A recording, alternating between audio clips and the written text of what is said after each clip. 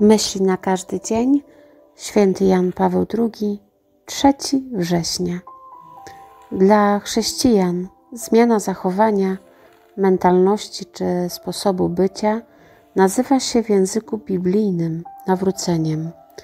Pojęcie nawrócenia wskazuje dokładnie na stosunek do Boga, do popełnionej winy, do jej skutków, a wreszcie do bliźniego.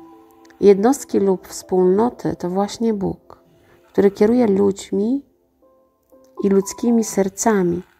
Może według tej samej obietnicy przemienić za sprawą swego ducha serca kamienne w serca ciała.